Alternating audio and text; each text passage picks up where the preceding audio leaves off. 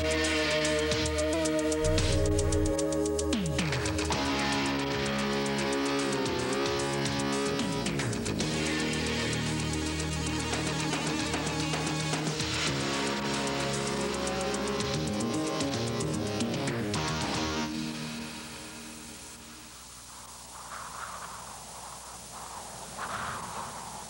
Within a decade of its invention, the safety bicycle had swept the world, even to the wastes of Alaska.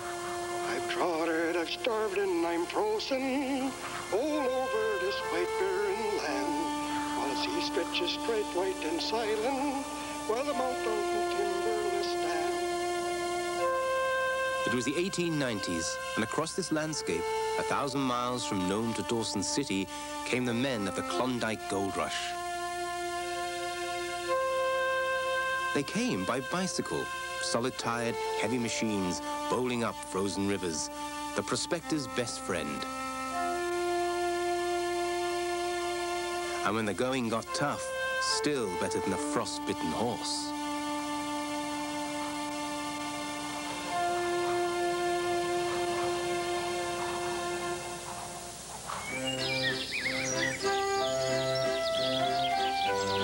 Safety bicycle is an English invention. Just possibly, the concept could have been Leonardo da Vinci's or one of his pupils. This doodle was discovered among da Vinci's manuscripts. In 3D with animation, it's for all the world the bicycle, a drawing from the 1490s, 400 years before the safety.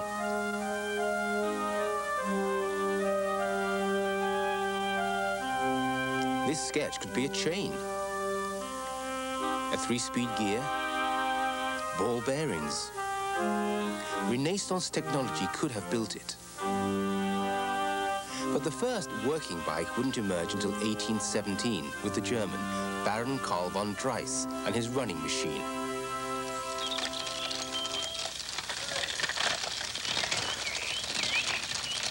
There were no pedals.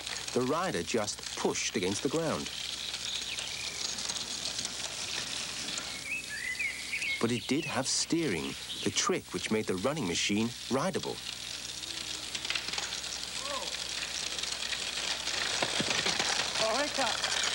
Von Drais had discovered balance. The bike was born. The world must know. First to France to demonstrate to the Parisians in the Luxembourg Gardens. The rider von Drais had sent from Germany failed the big occasion.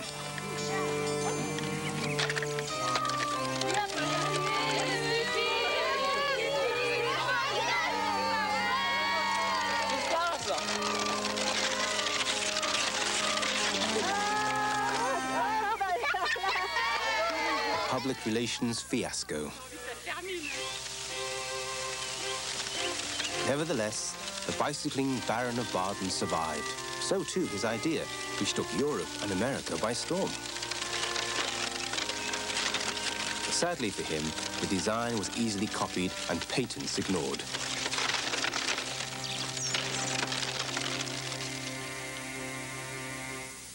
Meanwhile, the wealthy and the fashionable had their fun. Riding schools abounded.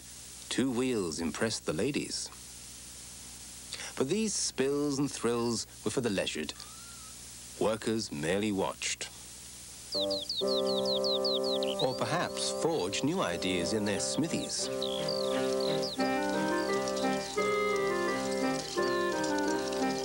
Kirkpatrick Macmillan, village blacksmith of Dumfriesshire, Scotland, did just that. He fitted the basic Draisian running machine with treadles. It was 1840. The world had its first pedal bicycle.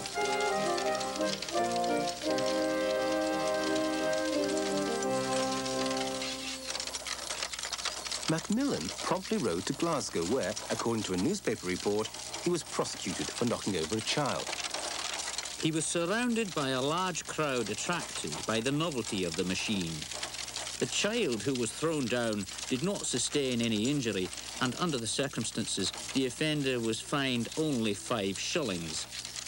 This invention will not supersede the railway. Nor did it, for steam was the preoccupation of the day. Britain was seized by railway mania. Macmillan's was the right idea at the wrong time.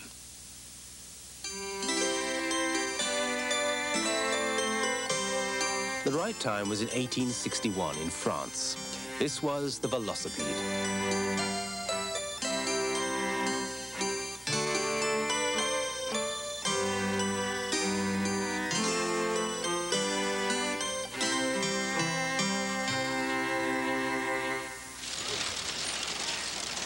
The Velo caught on fast, first commercially produced by Pierre Michaux in Paris.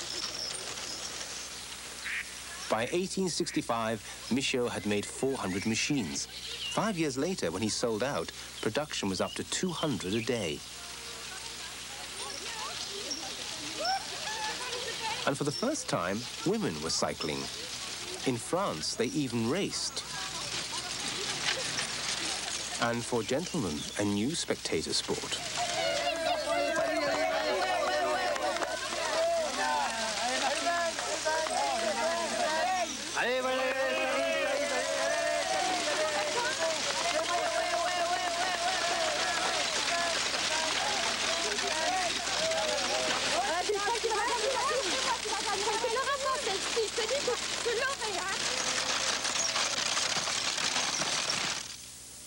Some women at least, the velo had brought progress, if not emancipation. For the world, Michaux had unleashed a passion. Everywhere there were riding halls, entertainments. Things got so out of hand in New York that cycling was banned in Central Park. And in the countryside, a velo still caused shock and resentment. Okay, die fucking af.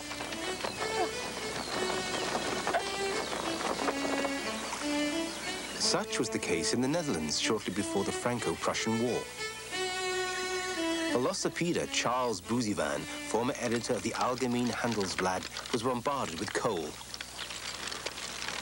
It had been thrown with full force by a fellow on a passing towboat. Kijk, pa, wat is? I had to be thankful that the perpetrator missed my head. Scheer je weg op je roepmachine.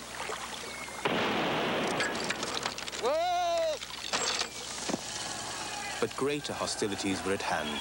The Prussians had invaded France.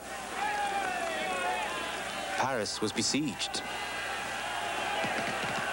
And as bikes were beaten into guns, the French velocipede industry vanished overnight. It was 1870. The initiative was about to pass to the Anglo-Saxons. England was still in the afterglow of the Industrial Revolution. The city of Coventry had slumped, its silk weaving collapsed. Labour was cheap and workshops eager for new enterprise. Thus did the Coventry Machinists Company augment sewing machine production with bicycles, French-style bellows.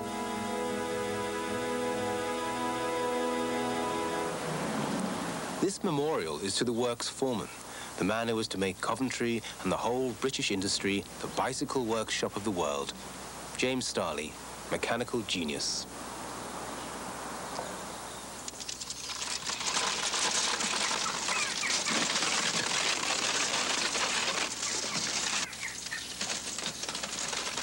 Starley reasoned that speed was governed by the size of the front wheel.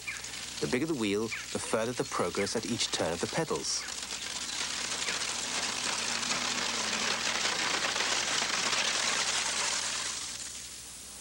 Starley also knew how bad were roads.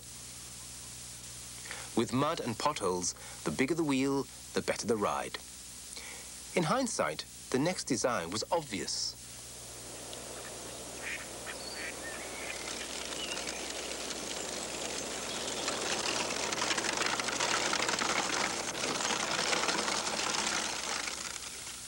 The day of the high wheeler had dawned, and with it, bicycle clubs for men.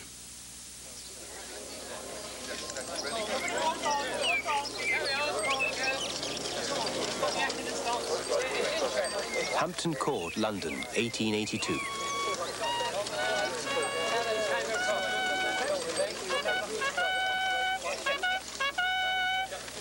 Like cavalrymen, they were answering the call of the Pickwick Bicycle Club.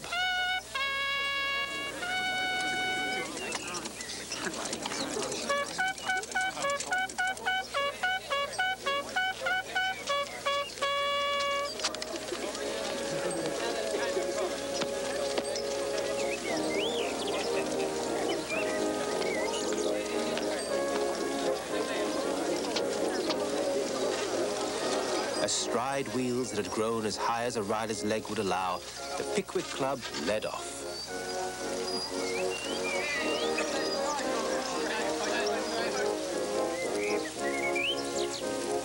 This was the biggest procession of high wheelers the world would ever see.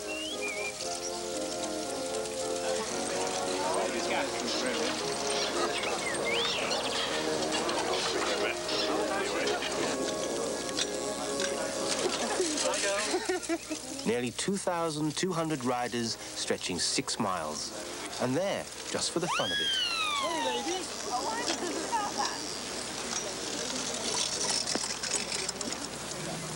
Quasi-military in style, the club offered security and mutual protection. For in the countryside, people still threw stones. Britain had well over 500 clubs, each with its own bugle call, each with a uniform. Here, the London Bicycle Club.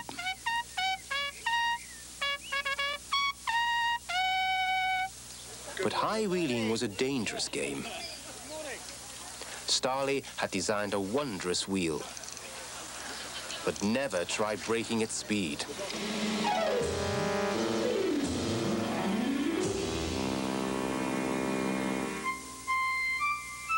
The problem was the header.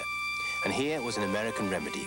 Reverse the wheels, put the small one at the front, and place the rider's weight over the big one at the rear.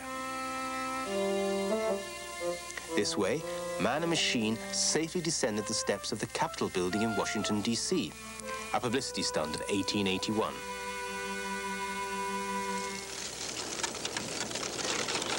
The high wheeler remained the plaything of the young, sporting, and middle classes. In England, artisans and mechanics were banned by some clubs from amateur racing. The Times of London. Their muscular practice is held to give them unfair advantage over more delicately nurtured competitors.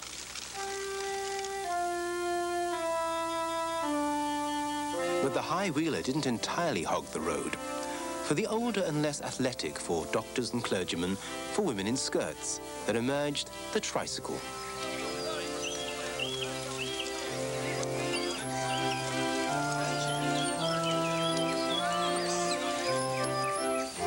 A circular from Britain's Bicycle Touring Club to its tricycling members acknowledged their gentility. It is desired by most tricyclists to separate themselves entirely from the bicyclists, who are a disgrace to the pastime. While tricycling includes princes, princesses, dukes, earls, there are none of the upper classes who ride bicycles.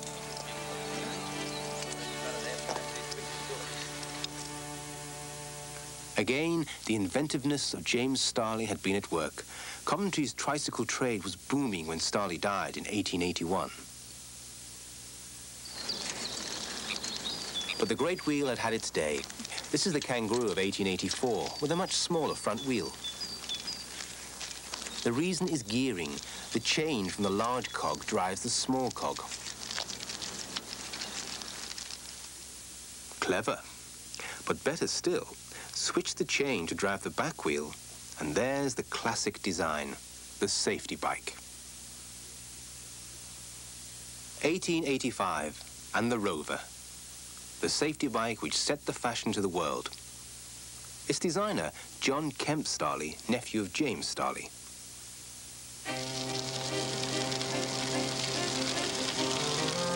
The Rover was dubbed the safety bike because it was just that. With the pedals off the front wheel, no more scuffed legs as the rider steered into a bend. Touch the brake and no fear of a header.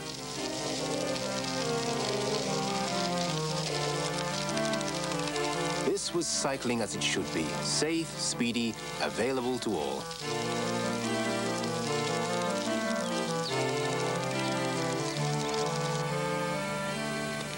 The problem was how to publicize the new machine. The answer was the Rover Road Race.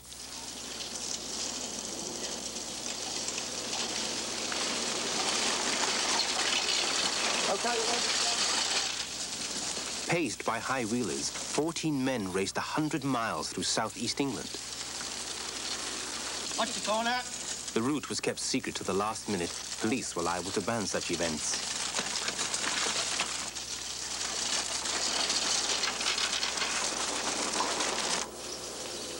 But the publicity did the trick. The Rover was embraced by the world. To this day, Rower is the Polish word for bicycle. And Rover's still in business as the Rover Car Company.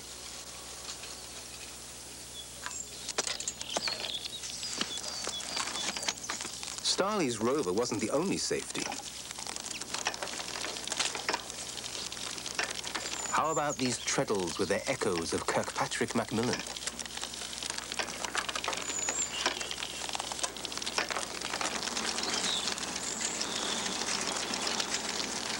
This lightweight cross frame, too elegant to really catch on.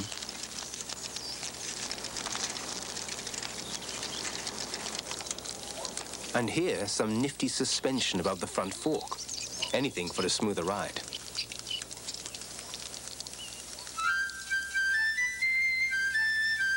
But the problem of road resistance will be properly solved in Ireland. A boy called Dunlop was having trouble riding the cobbles of Belfast. His father, a Scots veterinary surgeon, had a bright idea, inspired, they say, by the intestines of animals. He developed the pneumatic tire. His son and all cyclists would ride on air. The year was 1888. A global manufacturing dynasty had been founded in the name of John Boyd Dunlop. But Dunlop's tires were merely glued to the wheel. Three years later in France, this man came up with an improvement. Edouard Michelin, father of another industrial giant. Michelin developed a tire which could be easily detached from the wheel and easily repaired.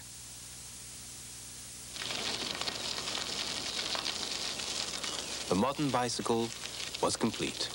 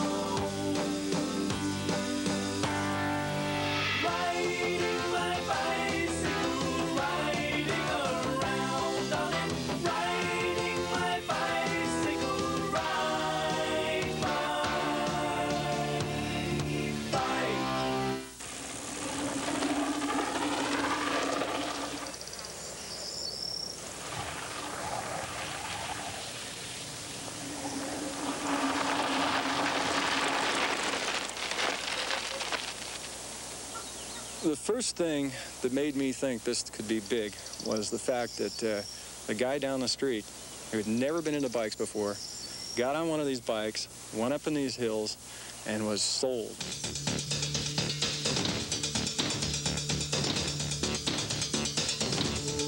The mountain bike, a hundred years of cycle technology turned on its head. A design so marketable, it warrants expensive television advertising. Chunky, fat-tired, go anywhere.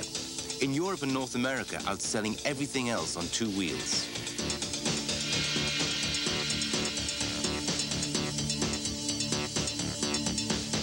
The worldwide uh, proliferation of mountain bikes has made me very, very happy. It's the, it's the happiest, uh, you know, business thing or, you know, sport thing. It's one of the happiest things of my life going, for sure, because uh, uh, to see people enjoying bikes in more ways. Uh, that's something I always wanted.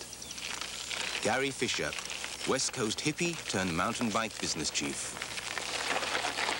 The man who rebuilt the bicycle took it up a dirt track and launched a dream. Here he is with Charlie Kelly in the 70s, co-leaders of a pack of dedicated bike bums in Marin County, Northern California.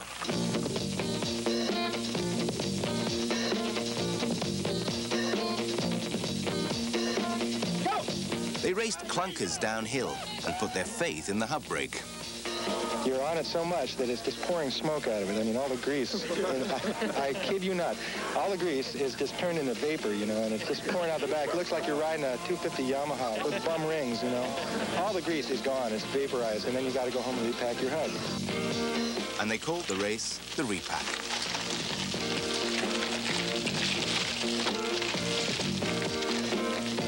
Gary Fisher. They were doing this uh, coming down the mountain on old single-speed Schwinn's and Colsons, and I went on a couple of rides with them, and I started laughing again. It was like hilarious.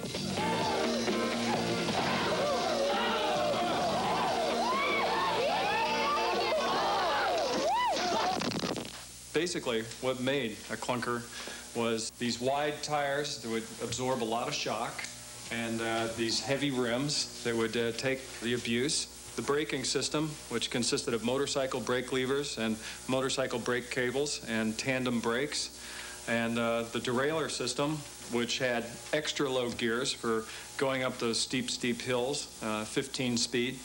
And uh, the frame, which uh, was a very stable geometry and had uh, the clearances for these big wide tires.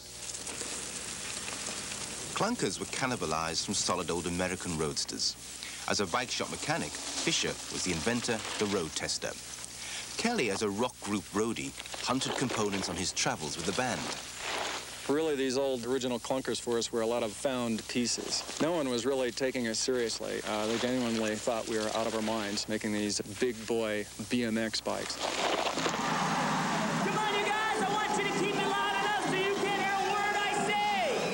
BMX had emerged from California in the late 70s, a hit with youngsters around the world. But its popularity was short-lived. Today, the BMX is more a display sport than a mass hobby.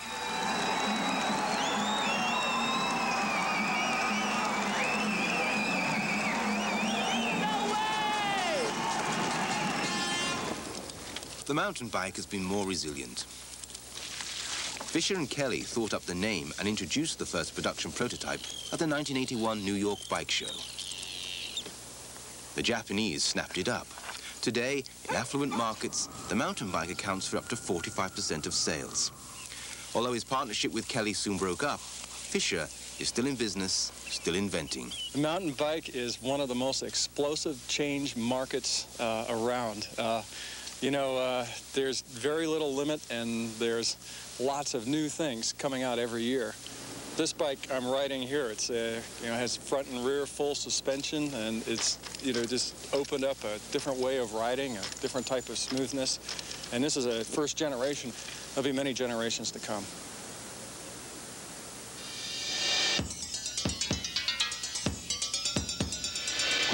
The appeal of the mountain bike is its strength, its low gearing, its user-friendliness. But the bike's chief asset, the off-road capability, is causing problems, especially in America. Erosion. And in many areas, hikers and equestrians don't like sharing trails with cyclists. The growth of the mountain bike may have peaked. The land access problem has already inhibited the growth somewhat. The conflict of interest problem will be solved by good management. Uh, the mountain bike is a new entity and needs to be uh, learned about by all the different management people. And then they need to um, keep us some places, keep uh, hikers other places, and have some things that are multi-use. And I think everybody will get along. But there's a new kid on the block, still tough and sporty, but lighter for town.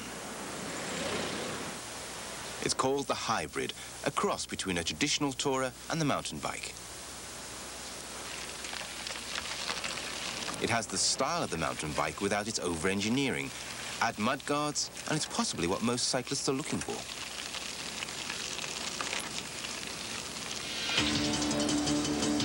This is a new design. A fundamental rethink of the structure of the bicycle, the work of engineer Mike Burrows. Perhaps another Gary Fisher?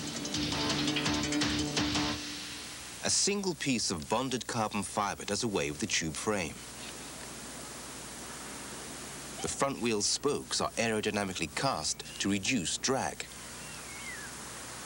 And the wing-like handlebars cut air resistance by a factor of 10. Light as a feather, the wheels are attached on single cantilevers. And as with the pedals and chain, everything is held together on one cohesive unit called the monocoque. This is a very advanced and superior design. I wouldn't be at all surprised to find designs of this sort proliferating in the racing world. But racing doesn't seem to me to be the natural ecological niche of a bicycle. A high-technology bicycle like this seems to be out of the mainstream of the important social uses of a bicycle. For ordinary use, I don't think it really points the way to the future. But if the Far East gets interested, Mike Burrows could be a millionaire. David Jones is a science consultant to industry. In analyzing basic bicycle design, he's worked out what makes a bike rideable. If you look at an ordinary bicycle, the steering axis hits the ground slightly ahead of where the front wheel touches. And that's significant because it gives the bike a little bit of stability. Not too much, because then it's hard to ride. But if you turn the front wheel round, and I've adapted this bicycle to make it possible, now the steering axis hits the ground well ahead where the front wheel touches. That makes this bicycle very stable.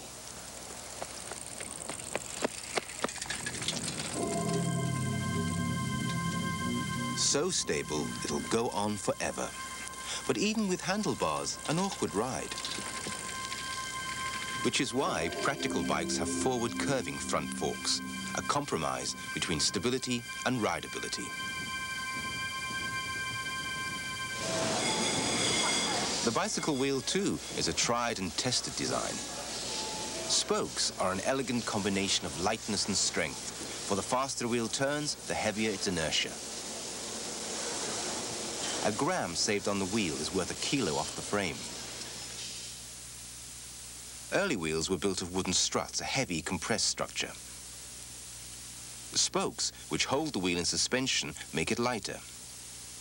And tangent spokes make it stronger, forming triangles, the strongest geometric construction. Brake design has always been a problem. Whether hub, disc, or a new caliper like this, a truly reliable brake has yet to be engineered.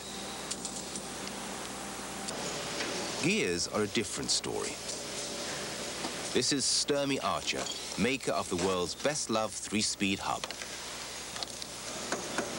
A century-old design fitted to 80 million utility bikes and reliable because the gears are protected within the hub. Hub gears are easy to shift, simple to maintain. But they dissipate a lot of the rider's power and there's too big a jump between gears.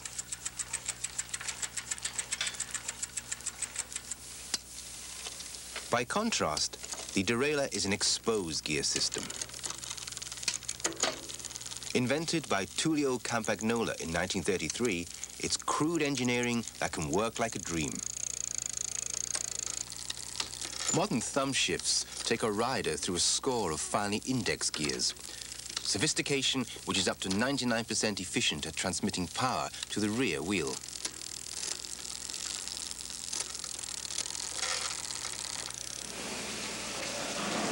Okay. Can you attach that to the cable out now? But gears, wheels and frames are mere tinkerings to a bicycle design which dates from 1885. Two kilograms. Can you hold that steady, please? David Jones is checking the calibrations of a wind tunnel. Two kilograms gives us a nice 40. It's by tackling the aerodynamics of machine and rider that engineers believe bicycle design will be fundamentally improved. There we went. Very nice 80. That's 40 newtons. The efficiency of different bikes is being tested at 20 miles an hour. Wind speed is checked against the distance travelled by a polystyrene chip in 1 50th of a second. The tunnel is deemed accurate. Least efficient is the high wheeler, with the rider offering a lot of resistance. Observe how that uh, stream is breaking out around the back of his head. There's obviously a vortex there. Little better the traditional roadster. 75 on the meter, a drag of 3.8 kilos. The sports bike is much better. I'd expect higher than that, actually. 38, 2 kilos of drag. There's not, not as much drag on, on this, this speed as, as we'd guessed. And with a racing model, a marginal improvement. It gets better the lower the rider crouches, down to 1.7 kilos. And drag can be shaved a fraction more to 1.65 kilos with a racing helmet, and to 1.6 kilos with aerodynamic handlebars. But nothing tested so far can match this reading at over twice the wind speed. This is the Bean, possibly the most aerodynamically efficient bicycle ever built, designed to chase speed records with its low, super sleek profile. Then you get a major improvement.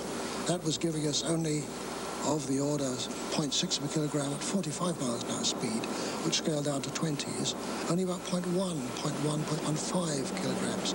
So that's a major advantage, but at the cost of a totally impractical vehicle.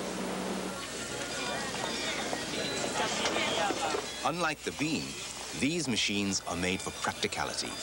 Pedal tricycles enclosed in carbon fiber fairings.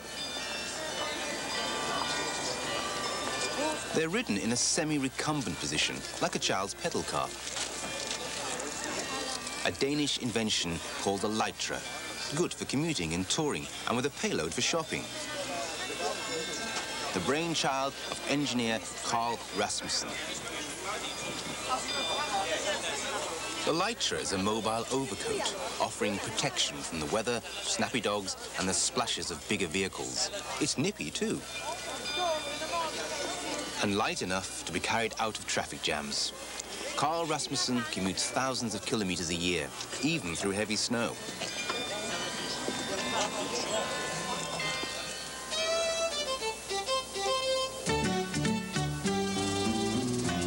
Winchester, Massachusetts, and a recumbent built for two.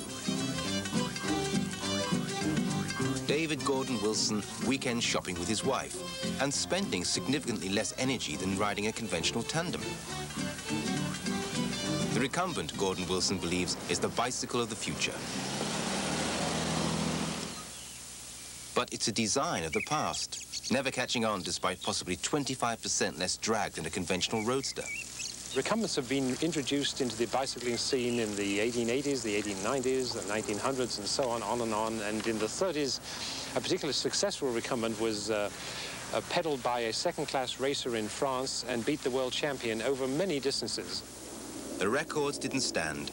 The recumbent was ruled not a bicycle. Bye-bye, sweetie. Rain, hail, or storm, Gordon Wilson commutes the eight miles to work on his solo recumbent.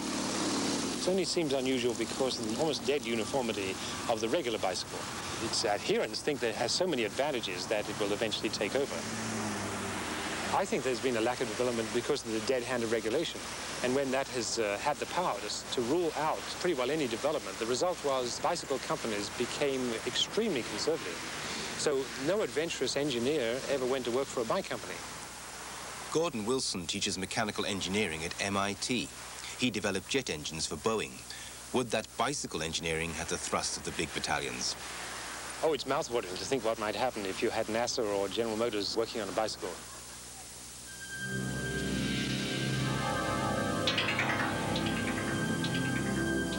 The shape of things to come.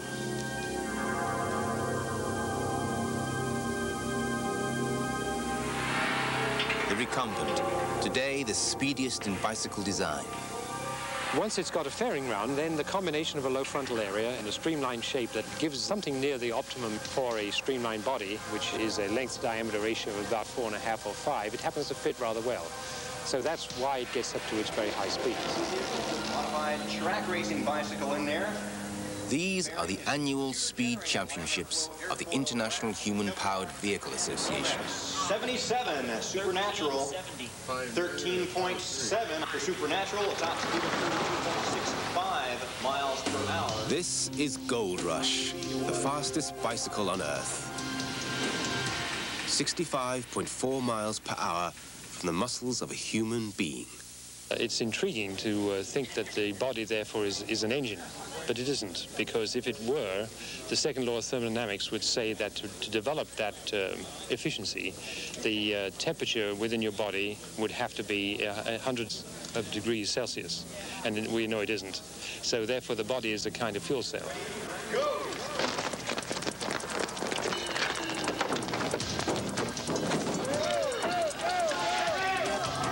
And the bicycle is the most efficient means of converting the output of that fuel cell into locomotion.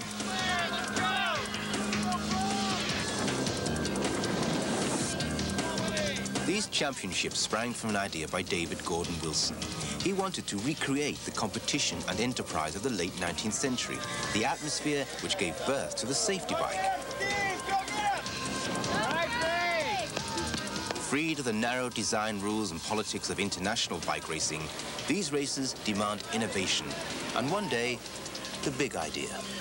You can imagine being able to wiggle your ears and having a little mechanism getting your power output from that and, and doing this sort of thing and, and wiggling your arms. Uh, but uh, the evidence at the moment seems to indicate that if you did all that, if you, if you trained all the muscles in your body to twitch and you had uh, magnificent machines that uh, collected all this energy, your heart and lungs would be overloaded. So uh, my guess is that uh, the legs are a good match and the legs and the arms are probably better. But beyond that, that's probably too much. And why not a water bike? A $25,000 prize awaits the first craft to reach 20 knots. Another for the first human-powered helicopter. For cycling, the sky's the limit.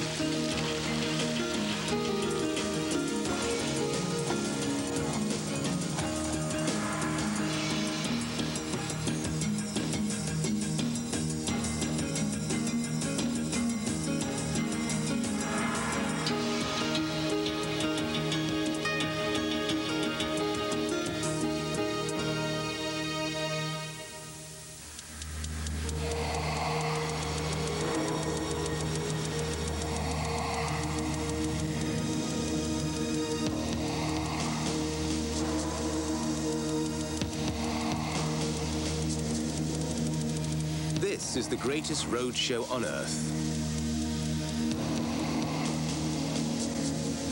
A fiesta, a celebration of man and his noblest invention, the pedal bicycle.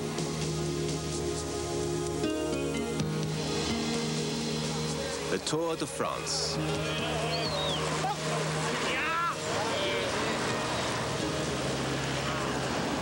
There are some days when you get a good story, you've seen a good day's race, beautiful countryside, and you think they shouldn't pay you to do this. And we'll be very happy with an, an American or an Italian. We'll be very happy. We like the best to win. Nous voyons des millions de spectateurs tous les jours. Et ça, des millions de spectateurs voient Coca-Cola. Ça, pour nous, c'est c'est très important.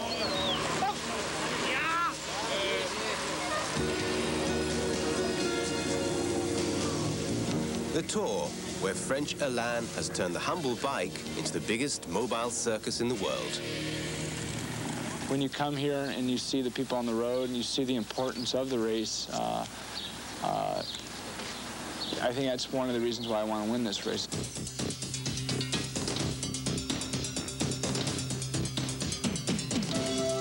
Two hundred riders, three relentless weeks, 4,000 kilometers of suffering.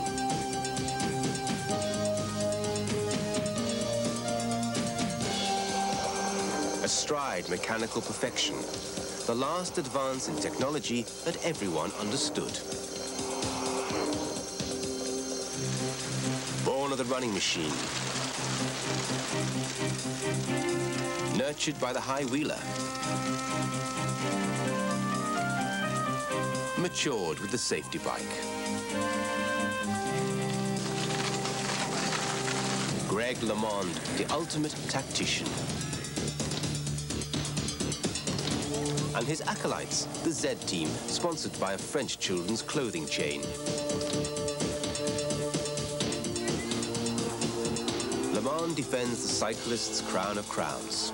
You have to put up with a lot of attacks from top athletes, pressure of not only the team, pressure of yourself to try to win, pressure of the journalists, spectators, everybody wants an autograph, everybody wants five minutes. It gets very difficult to, to do the physical and the mental thing together for three weeks straight.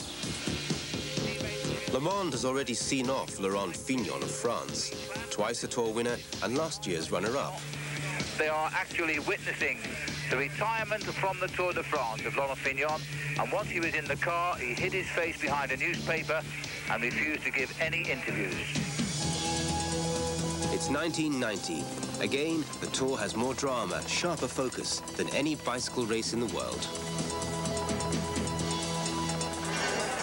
Jan Carlsen, 24 years old, his first Tour de Trump, took first place in the 1989 Scandinavian Championships in the team time trial. The latest imitation is American, a tour dreamt up by a basketball commentator.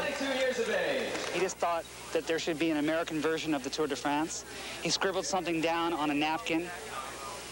He dreamed up a name, the Tour de Trump, and he went in to Donald Trump and said, what do you think of this idea? We'll call it the Tour de Trump. Trump laughed and said, come on, that's ridiculous.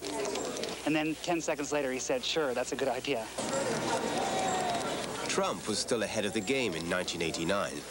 The Taj Mahal Casino in Atlantic City had yet to threaten his property empire. Hotels, an airline, next a bike race. Trump became main sponsor.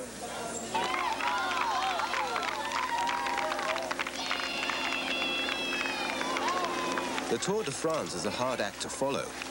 Trump had 100 competitors chasing prizes of a quarter of a million dollars. But the US had no tradition of long-distance racing and organization was poor. By the year two, 1990, the profile of the Trump had barely cleared the horizon. 11 days around the East Coast, this was no Tour of America. But it was an airing for Greg LeMond, badly out of condition just two months before the Tour de France.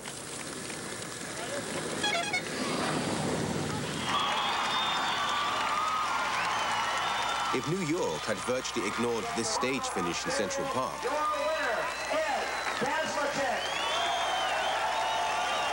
then the media did the same to the Trump leaders. All eyes were on the American hero, twice winner of the Tour de France, currently 85th in the Trump. Uh, but it's been a great race for training, this race, and I think four days of recuperation in the Tour of Italy.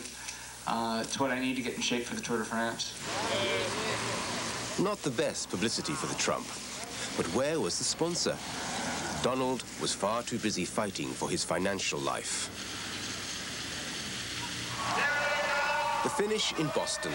After 1,100 miles, a winner from Mexico. He did it for this. The winner's check, $50,000. Raul Alcala. LeMond was an hour and 40 minutes behind.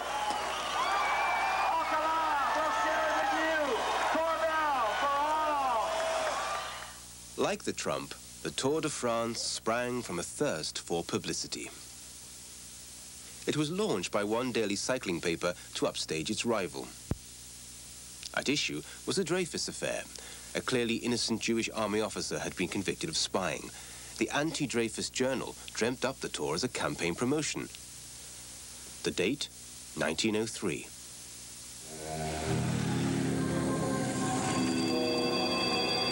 Nine decades later, and still the world's top cycling event.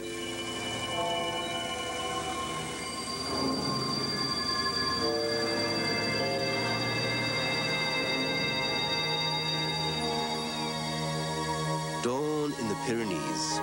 Overnight, thousands had driven to vantage points for this, the 16th stage, the climb to Luz Ardiden.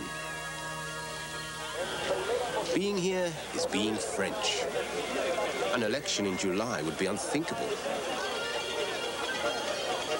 The only votes are for champions, daubed lovingly on the tarmac. It's relaxed. It's civilized.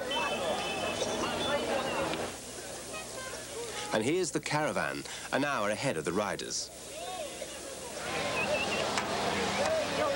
For many, it's the anticipation, the carnival of caravan publicitaire, which is the best entertainment of all.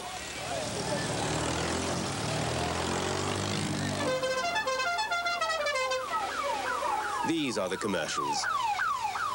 A sponsor's car can cost 600,000 francs.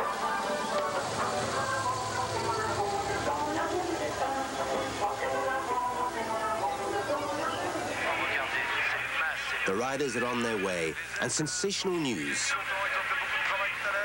Greg LeMond is in the lead.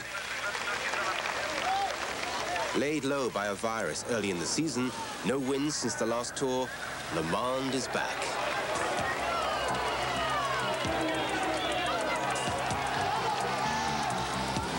To date, he's never won a stage.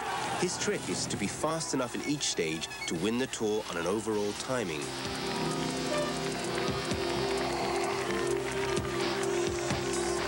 Way behind, the tactics of the peloton. Pacers and shielders who've given their all to thrust stars like LeMond to the front. For the leaders, it's just man against heat, gravity, utter fatigue.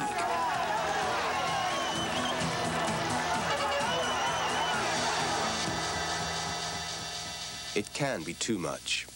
This was the English rider Tommy Simpson in 1967. He collapsed a kilometre short of the summit on Mont Ventoux. It had been his seventh Tour de France. Simpson was 29 and believed he could win. He'd once come sixth. Popular in France, more so in Belgium, Simpson's mentor had been Albert Beurick, a cafe owner in Ghent. Beurick looked after several British riders. I was at a race in France, um, in Belgium, amateur race. I was watching the race and the, tele um, the tour was on television in front of the shop window.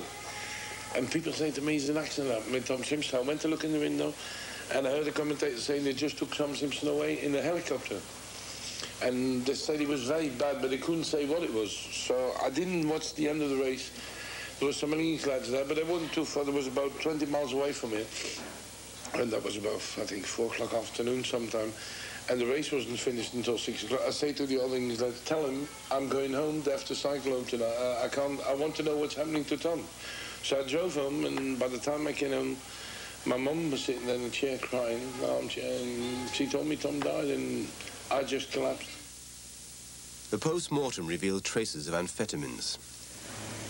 At the restaurant, Beurick was dismayed that drugs had been cited as a possible contributory cause of death. But he had once been pressed for stimulants by another of his racers and refused. And he asked me to give him something. And he kept insisting morning, I said, all right, I'll give you something. Come to see me in the morning, I said, on Saturday morning. He was racing at 3 o'clock in the afternoon. And I gave him just an injection of, what do you call it, uh, vitamins, B12. He didn't know what it was, though. And he won the race. He thought he took something, but he took nothing. He just took vitamins. As Greg LeMond forces his way through a corridor of people. Since Simpson's death, drug checks in the Tour have become progressively tighter. And that might annoy Greg. It might even inspire him to take the stage as well. Because Indurain is... As LeMond is forced into second place at the Luz Ardiden summit, there's still the question as to whether a rider would take stimulants to enhance his performance.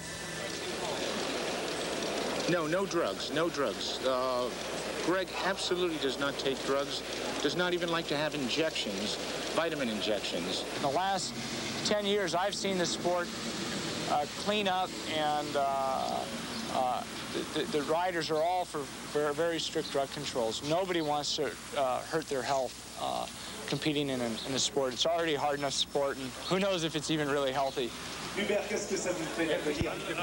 It's a mass media event. Commentators and competitors chatter to the world. Can LeMond pull it off for the third time?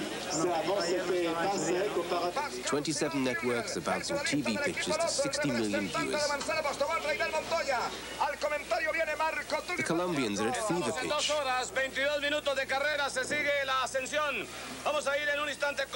The networks pay a fortune for the coverage, vital income. For the Tour de France must be big and commercial or die. The major thing about the Tour de France now, because it's become an emblem of France, but it's now what the French wanted, what they call it mondialisation. They wanted to bring the Tour de France worldwide. And that's just what they've done. A thousand journalists, all pushing out the word, all well disposed to the tour. And like Sam Abt of the Herald Tribune, who can complain? With LeMond now lying second overall, it's a cracking story. The Tour de Trump, he had nothing. He had no legs. He had no stamina. He suffered dreadfully. And two months later, here he is doing wonderfully at it. Um, so it's a total change. He's in it for the glory. He's in it for the satisfaction of winning races. But he does like to make money. He's making $5.5 million over three years in his contract with Zed. And there are many American athletes who make much more than that. He wants to be paid comparably to other American athletes, and that's how he's revolutionized the sport.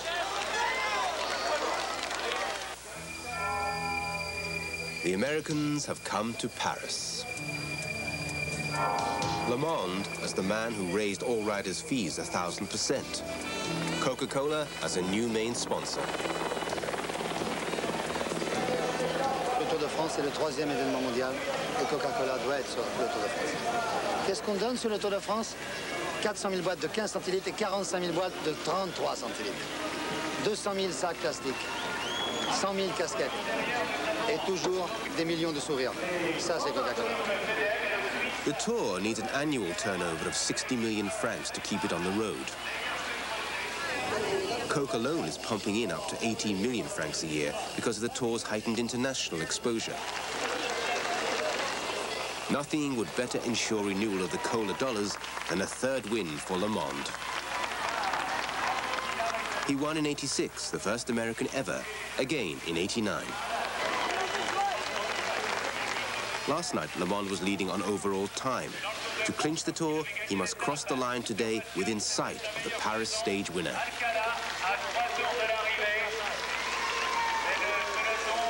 And Johan Museeuw has got the lead now, and the green jersey isn't too far away. The two great sprinters almost head-to-head, but Baffi is pushing hard too.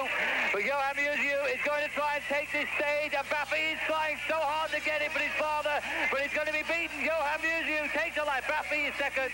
And there is the hands of the winner of the Tour de France. Greg LeMond salutes the crowd for the third time. Still not a stage victory to his name, but who cares? Dad's done it again.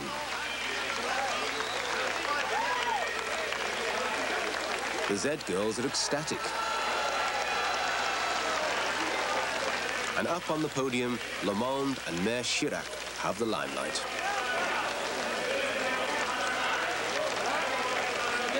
But Greg himself is a, is a nice guy, but I think I don't I, I kind of kind of don't like what he's doing to cycling at the moment.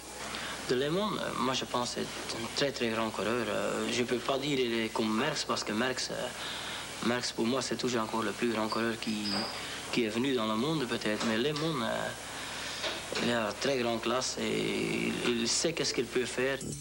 the legendary Eddie Merckx won the Tour a record five times. Now he's swapped racing for business, and the competition is just as fierce. Merckx has a small factory in his native Belgium, producing exclusive racing bikes and trading on his fame and a ruthless reputation for winning. Not just the Tour, but classic after classic. Parce que si Greg LeMond voulait, il pourrait faire exactement la même chose et remporter beaucoup de victoires. C'est pas normal qu'un champion du monde n'ait pas gagné une seule course euh, jusqu'au Tour de France euh, avec un meilleur champion du monde. Et ça, euh, je crois que c'est la réalité et que Greg LeMond ne veut pas voir la réalité et il cherche des excuses euh, pour se défendre euh, ses propres euh, torts qu'il a. Cycling has changed since he raced. Uh, it's much more competitive. We have much better trained athletes than he, when he raced. Uh, Eddie Merckx was always months in advance of everybody else because he trained through the winter. And uh, I have people who race with him, and they, they, there's no comparison. We have maybe 10 Eddie Merckxes in the peloton right now. Je crois que lorsqu'on a le maillot de champion du monde sur les épaules, on a une certaine responsabilité vis-à-vis de ses sponsors, vis-à-vis du, métier qu'on exerce. Et je crois que Greg LeMond, euh, cet hiver, a oublié qu'il était coureur cycliste et qu'il s'est mal euh, préparé cet hiver. D'ailleurs, euh, ça s'est vu dans le début de saison où Greg LeMond était vraiment nulle part. Et je trouve ça absolument dommage pour un garçon tel que Greg LeMond, qui est certainement le plus, le plus grand talent actuel du cyclisme, qui n'ait pas plus de respect pour son métier, c'est tout. It's purely out of uh, jealousy because I market a bicycle in the United States that is taking a little bite in his competition, and uh, he would like to see uh, my value or uh, uh, or my my name taken down a little bit. And uh, to me, it's it's sad to see a champion like that. I really had a lot of respect for him uh, until I got to maybe know him a little bit better, and especially after his comments. Uh, I just say it's sad that uh, I hope when I stop cycling that I'll be kind enough to the young riders and the new generation that uh, I, I'll keep, if I have bad words or bad feelings, I'll keep them to myself. LeMond may win nothing but the Tour de France, but that's the way he plans it. More than anyone, he's taken cycle racing into the financial big time. The Americanization of the Tour is complete.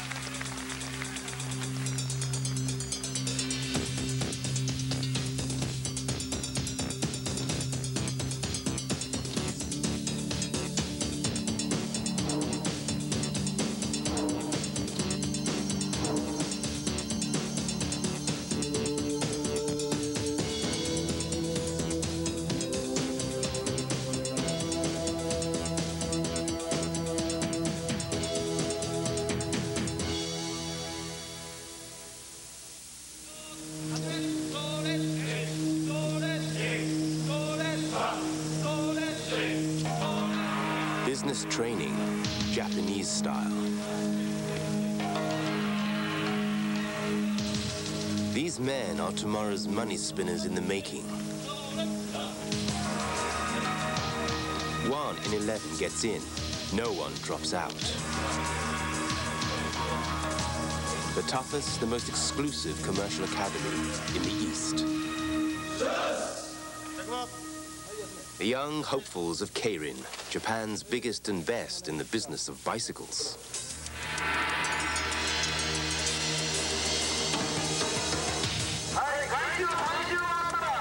This is the Japan Bicycle Racing School.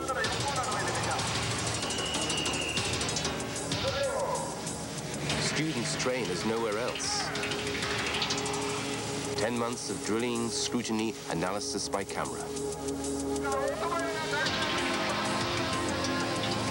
We may treat them like dogs, says the college principal. But next year they could be earning a fortune.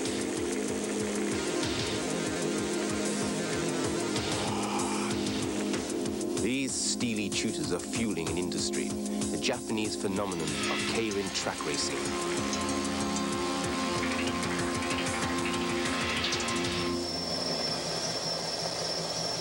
The Keirin School is financed by the racing industry for the racing industry. Each year, 150 graduates will qualify as professional Keirin racers. They'll be able to compete on Japan's 50 Keirin tracks. Superstars can earn up to a quarter of a million dollars a year. With such incentives, the rigors and self-discipline of the Keirin school will be understood.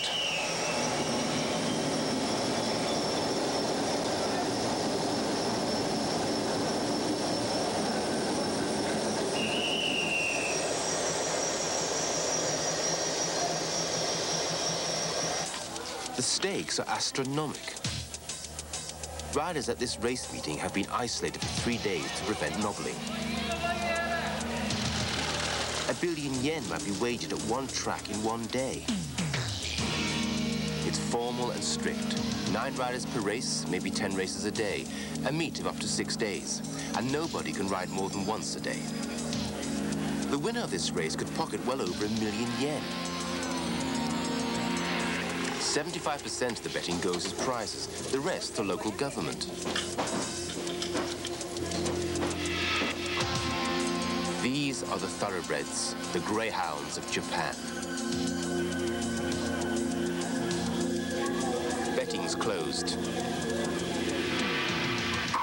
The hare's off, the riders spring their traps. Gently, tactically at first. There could be 30,000 in the velodrome, but it's quiet, almost disreputable. Many older Japanese shun Keirin because of its gambling connotations. The human hare paces the riders as they slipstream and plan their moves. The distance is 2,000 meters, five laps.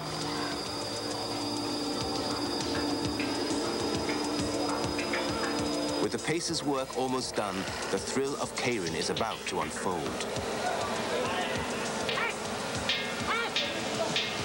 The bell is the cue for the hare to peel off, the sprint to begin.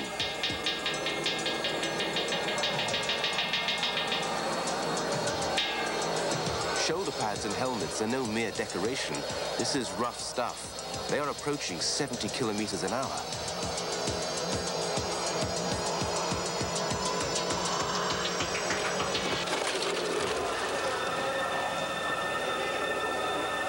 It's this that annually packs in 27 million spectators. And a finish like this. No wonder Keirin can donate $20 billion a year to public works, just 11% of its betting turnover.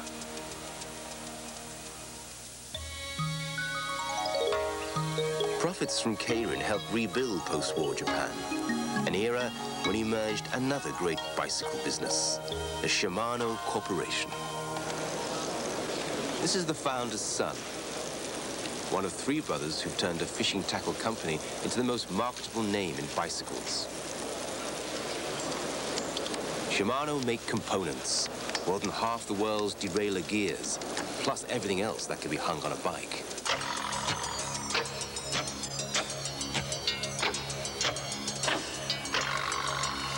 Was certainly a period, uh, perhaps a year ago, two years ago, where the consumer was coming into a bicycle shop to buy a Shimano bike, meaning somebody else's bike with a Shimano group set on it. Shimano's success came with the mountain bike explosion. While rivals like Campagnolo of Italy ignored it, Shimano embraced the mountain bike, creating set after set of stylish accessories. I think Campagnolo were caught unawares by Shimano, certainly didn't anticipate the level of innovation that was coming out of Japan. Innovation that has meant robotized production in Osaka and tax advantages in Singapore, a joint venture in Italy and ever more chic components. The relentless pursuit of a dream by Shimano's designers. プロセスは非常に楽しいもんでございますし、えー いろんな人がそこへ参加してきますまあその結果としてテンポラリーのドリームがいつもまあ変わっていってるようでございます Shimano invest heavily in research and development. Listen to the voice of the market, they say. With good engineering and sharp marketing, they're the dominant force in world component supply. But Shimano have been a victim of their own success. Overwhelmed by orders, months late with deliveries. They've been unable to meet that demand, and therefore they have been a difficult supplier to us, and they have interrupted our manufacture and our supply. It's absolutely unhealthy. It's unhealthy and it's very dangerous. And on the top of this, all the bicycles are going to look alike. So we have to be extremely careful. And as far as we are concerned, we are supporting uh, other component makers. Like Sachs Huret to France. But outside the factory with cyclists themselves, Shimano remains top choice. The corporation is well aware of the supply gap. これは私どもの経営判断が甘くもう少し増産ピッチを高めることができればこういうご迷惑をおかけすることがなかったというふうに反省しております。Shimano realized quicker than most that the world is becoming a single bicycle market. The big manufacturers are transnational. The bike is no longer the product of one country. It's a buoyant trade. The North American market is worth $2 billion a year. Western Europe, twice as much. A point not lost on a pushy exporter such as Trek.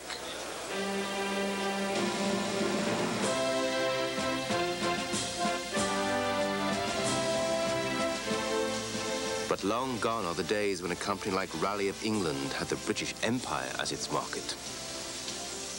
We followed the flag, and therefore it was with uh, colony, dominion and commonwealth that our business was built up. After the 39-45 war, we started to give our Commonwealth countries independence, and the first thing they wanted to do was make bicycles.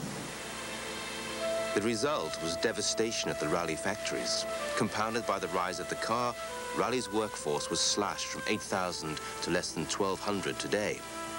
Nottingham was no longer the bicycle workshop of the world. My grandfather founded this company in 1895 as a middle-aged man who had immigrated from Germany. He was pretty well educated and worked for the Adler Corporation in Germany. And he came basically because he was fascinated with the most popular machine of the day, which was a bicycle.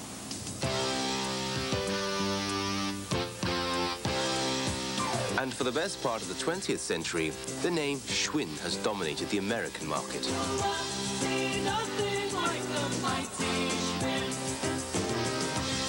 Cheap, cheerful bikes, because Americans would rather spend money on automobiles.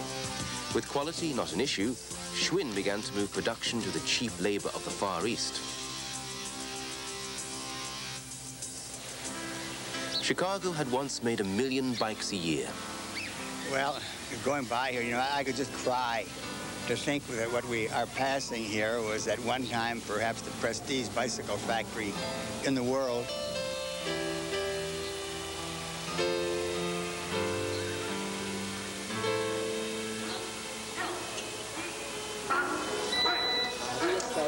Schwinn had moved here to the giant manufacturing company of Taiwan.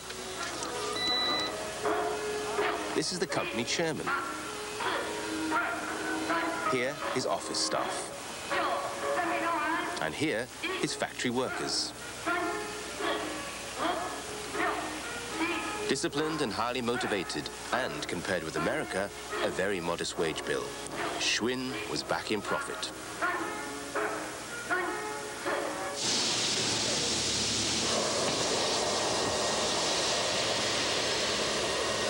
But Giant had headier ambitions than making other people's bikes. Today, as Taiwan's biggest manufacturer, the company markets under its own name. In less than 20 years, Giant has joined the World League. Uh, I don't think we are more successful because uh, Taiwan only produces now 6 million uh, uh, per year. Uh, Europe is producing more than 10 million, and US more than, more than 10 million. But I think the Taiwan industry is trying very hard and we are concentrated in what I call a new type of bicycles than the traditional one. These frames are carbon fiber, Giant's bold move into ultra-lightweight design. The Cadex, as it's called, is expensive, but it could be a world beater. The manufacturing process is so secret it couldn't be filmed. Cadex was born of Giant's prodigious R&D department, confirming the company's move into the middle and upper market. This Taiwanese product is no longer cheap. Enthusiastic selling is to Europe, North America and the Pacific Rim.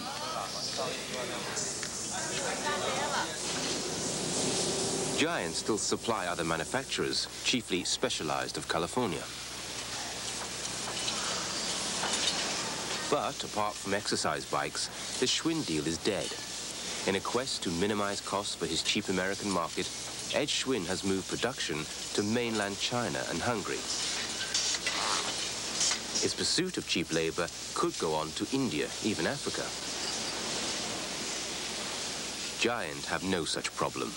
With a low-cost workforce, average age 28, they're chasing the expensive Western European market. Bikes come off this production line more slowly because they're for Rotterdam, their specifications more rigorous than for elsewhere. Anthony Lo believes in his staff and technology. We use a lot of uh, computer you know, for the total manufacturing integrations And we also have a lot of automations, the machine that made by ourselves. I think those things also help. Daily briefings keep staff informed. This is a mountain bike frame Giant will make for Specialized, engineering at which the Taiwanese have become so much better than the Americans.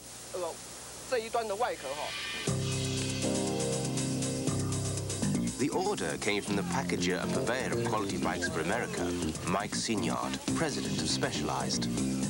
I saw an incredible niche in the market. I, I couldn't believe that that there weren't more quality uh, bicycles available. I was keenly involved in cycling and saw that there was really a shortage of that kind of product or people really even addressing the market.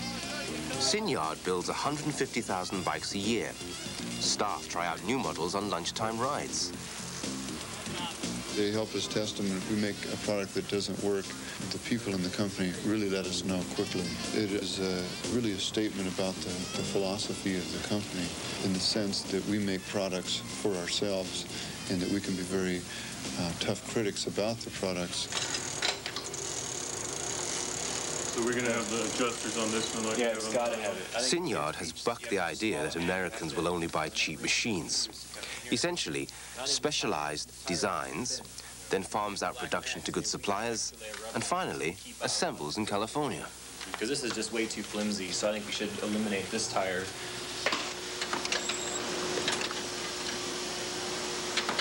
Specialized is also one of the world's biggest suppliers of water bottles. And they make helmets, tires and shoes, a clearly defined brand image with global appeal.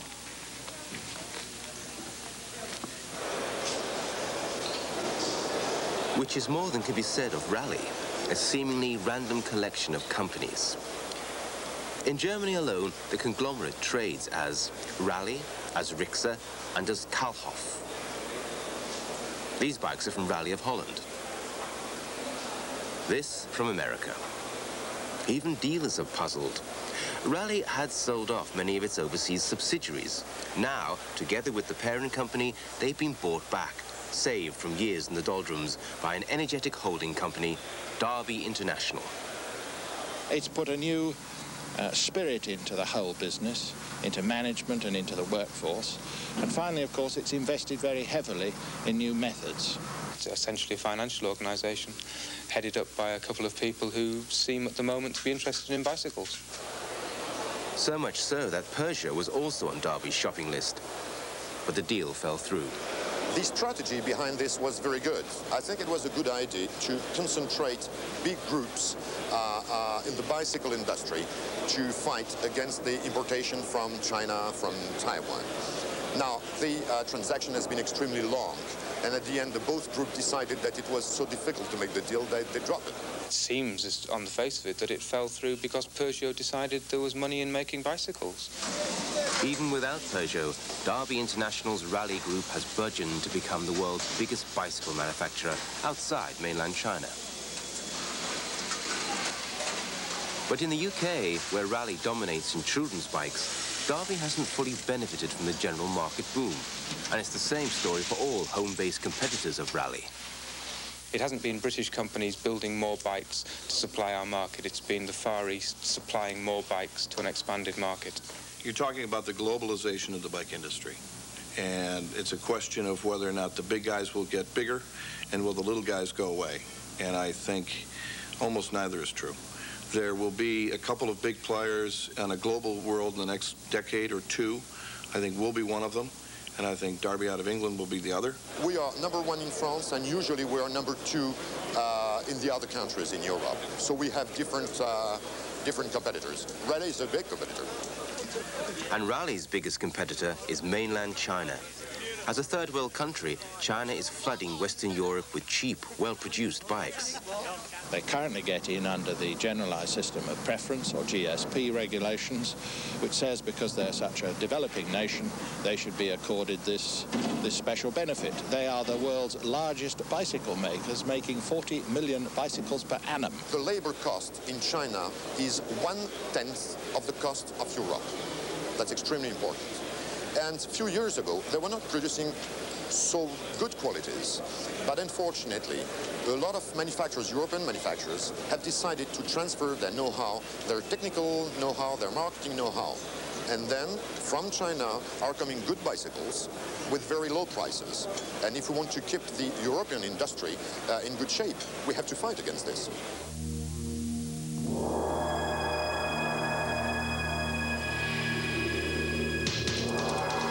As bike sales boom, Taiwan may have peaked, Europe and America fought back, and cheap production moved to China.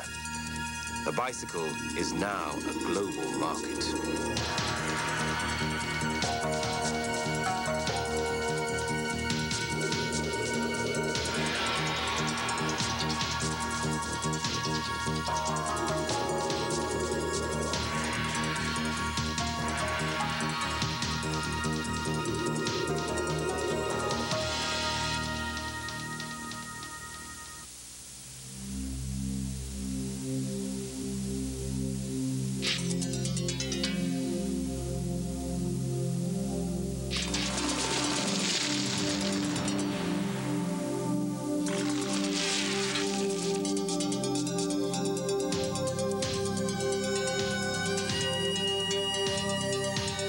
Consider how you can pinpoint the very day, the very hour when you hit that first sweet spot and you became forever a cyclist. Words from Bob Rodale's Path to the Golden Wheel. I began thinking about the spiritual aspect of the bicycle shortly after we got the magazine Bicycling because our readers, I found, were very mechanically oriented. They, they, they were preoccupied with the gears, the machines, the tires. They didn't have a language to talk among themselves about these special times, sweet spots, where uh, everything comes together. It just transforms you. The moments that make the pain, the sweat, the hard work seem trivial. And once hooked, your life may never be the same again. If you talk to somebody who's not a bicyclist, they may not be able to tell you, or they may reach only a couple sweet spots in their whole life. But a bicyclist has lots of them. I cycle every day. It's transportation for me. It's also my best philosophical time. Donna Wissinger plays classical flute on the international concert circuit, virtuosity enhanced by the joy of cycling. I find my face just opens up. The breeze blowing past me takes away the wrinkles in my mind and in my face. And in that way, I'm better able to bring together ideas that make the music meaningful. From New York's Carnegie Hall to Paris, Graz, and Leningrad, Donna Wissinger is a consummate solo professional and serious amateur athlete. If I push myself to do, say, a time trial, and I need to find a way to cycle, for me, fast 19 or 20 miles an hour, I have to find the means to do that. It's the same skill that I have to use in music. If I need to do a recording and I have to push myself that extra distance, I've already acquired that skill through cycling. Beryl Burton, an English farm worker who for a quarter of a century has dominated women's cycling. Seven times world champion, with a daughter in tow, her husband Charlie as coach, and no financial rewards. Hers is a lifelong pursuit, an all-consuming passion for bicycling in the amateur race. Five, four, three, two, one, go. Dig in, pedal. Half of my training was doing riding from work to home to get the dinner ready for them to eat. I used to just have a, a sandwich and a cup of tea, go training, and then come back and have my dinner afterwards. A grandmother now, Beryl Burton is still racing. I'm not on form at the moment. I haven't been for a couple of seasons. I've got to that age with females, this menopause problem. And uh, I'm not riding nowhere near as well as I should be doing, but I'm riding to my best ability. And yet I'm still beating people that are much younger than what I am. This is open road time trialing, racing against the watch. And Beryl is still outclassing men. A Frenchman wrote, where Beryl French, Joan of Arc would have come second. Whatever comes up, you, you sort of challenge it and you've got to be successful. Well, I remember as a child playing ball in the backyard, just up, up to the wall. I used to set myself targets that I had to do it 20 times, and if I didn't do it, I used to get so distraught and bang the ball about, and I would carry on until I'd actually done what the target that I set myself at. So I must have been born with this this uh, drive to be successful. People are still thrilled if they beat me now, but that feel, to me that feels wrong because I'm not getting faster, I'm going slower. So the thing is that they should be aiming for, to me, in my way of thinking, is to beat the records that I've set up. I mean, the 10-mile record is something like 17 years old.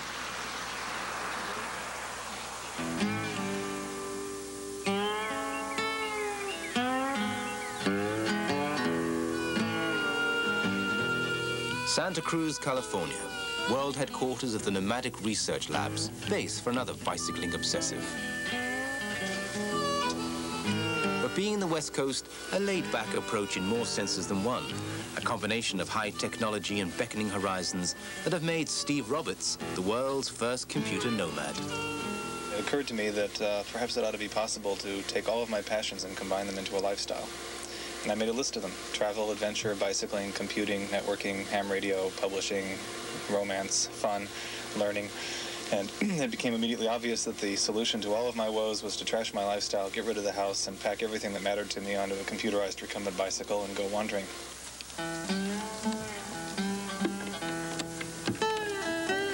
Courtesy of the bike, suburban man turned easy rider with lots and lots of gadgets. Plus a partner, Maggie Victor, on a less encumbered machine. Maggie has been uh, my traveling companion now for about four years. She helps with a lot of the business details, uh, is the lifestyle maintenance manager, uh, great companion, and now she's getting into photography and is the official trip photographer. It's worked. Steve Roberts has been making a living computing across America, writing it up on a word processor with a keyboard on the handlebars. I think the fact that, that this machine echoes people's dreams of freedom and adventure and getting away from it all is probably what's making the whole thing work. Because everywhere I go, I, I run into people who see what I'm doing, uh, respond at first with incredulity because of the, the complexity of the technology, talk to me for a few moments, recognize that my dreams are a lot like their dreams, and all of a sudden it's a demonstration that anything is possible if you're willing to take some risks. It's important that I be able to work on it wherever I am. Do that, all the access panels that open up. It says four megabytes of RAM disk so that I don't have to always be operating from a hard disk drive. Although it does have its own hard disk, this shock-mounted platform here contains two 40 megabyte hard disk drives. These devices here are, are uh, ultrasonic sensors. The console puts out a signal which these receive, and there's a little controller in there that notices changes in head angle by looking at uh, phase and Doppler change. So it lets me control the cursor on the Macintosh simply by looking at where I want it to be. This is the inside of a Macintosh Portable, and I've interfaced to it with fairly gently. Uh, I haven't had to hack into the board at all because all their interfaces to uh, the real world, including keyboard and so on, are all easy to emulate with my own hardware. This is a little solid-state refrigerator. This will generate about 50 watts of cold from an excess solar panel, uh, solar power, and things like that. So this will cool my drinking water and also actually pull heat out of my body by uh, with a little heat exchanger in the helmet. And incidentally, if I have a wreck, this is supposed to protect my head. So I hope I haven't voided the warranty. One of the big challenges is to just see how much I can get on the bike, but it has to be stuff that fits. I don't want to just load it up with a lot of irrelevancies. For me, bicycle riding would be destroyed if I had to struggle around under a burden of heavy luggage. The whole idea is to fly as light as a bird across the surface of the of the roads or the tracks or the deserts or the or the snowfields that you're trying to trying to cross. Nick Crane, the London writer who cycles the globe. He's biked up Kilimanjaro, conquered the High Atlas, and ridden to the centermost point of Asia. There are a few more extraordinary sensations than riding a virtually unloaded racing bike across the Gobi Desert with no luggage. You haven't got any food with you because you're just stopping a truck every every day and asking if you can buy a bit of bread or, or buy some water or cold tea from them. You're completely dependent on things that you come across in the landscape. I found particularly in Africa where you go into a chai house or in Nepal, you'll find that it breaks the ice as you arrive. It's not like a, a, metal and glass box that a car is, where you can conceal things and it's all rather suspicious. On a bicycle, you're completely open to them. They can pick up the bike, feel how light it is. They can get on the bike and ride around the village square. They can see that you're not hiding anything. It's just you and your bike. And the bike in the third world is very much an everyday tool. It's something that everybody knows and everybody uses. There's nothing mysterious about it. And also, you're, you're, you're therefore at, their, at, at the same level. An adventurer who never urges caution. Just common sense. Understand your companions, know and trust your bike. My idea of a great trip is to actually cut things down to an absolute minimum.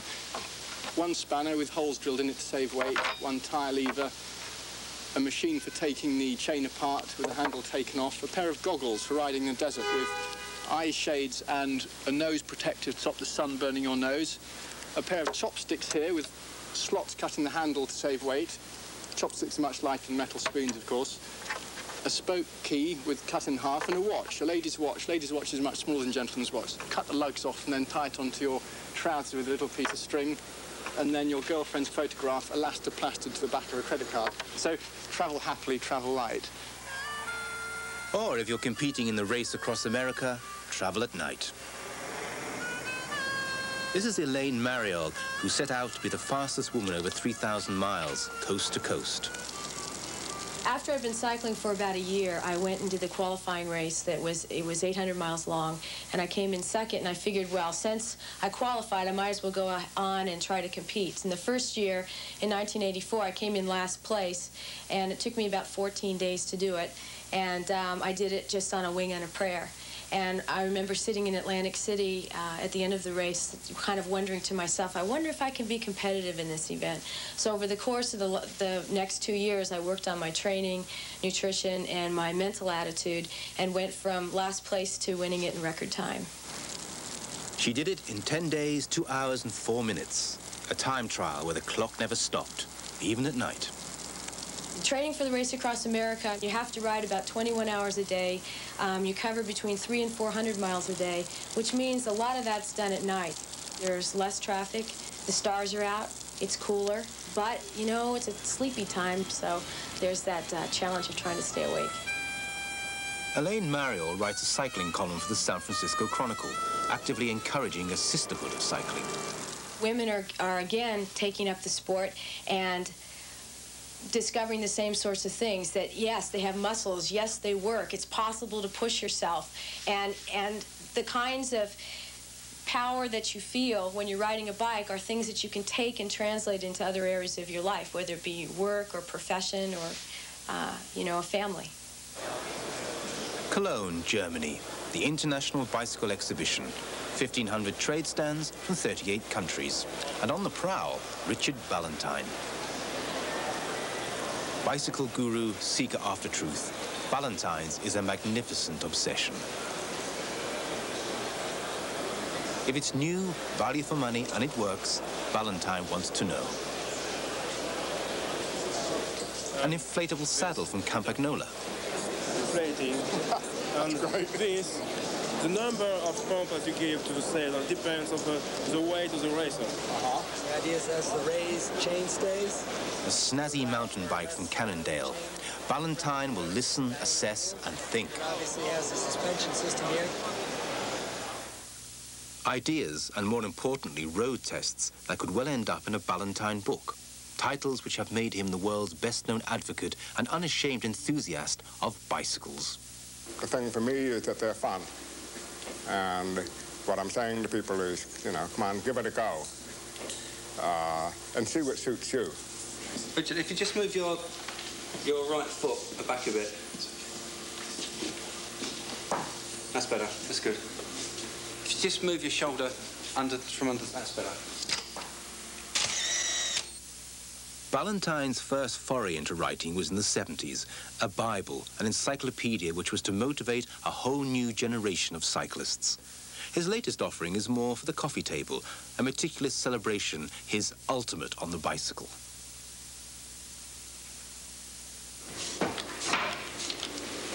Politics and concern for the environment don't get people on bikes, says Ballantyne. Okay. The motivation is fun, and people must be shown that it's fun. Okay, Colin. Yeah, get down a bit more, a bit more expression. Amid mediocrity and froth, Ballantyne writes with intelligence and showmanship. It's something worth doing well, which is kind of what this book is about. And you've got to kind of respect the reader and let them make their choices. Just give them the information they need so that they can do it. Like the data on the latest Moulton. Very light, very fast, very expensive. His affair with the bicycle began as a boy. His father gave him a bike after a bout of measles. As a young man in New York, a bicycle was the fastest way to get around. Based now in London, he keeps a stable of bikes, and he's forever road testing.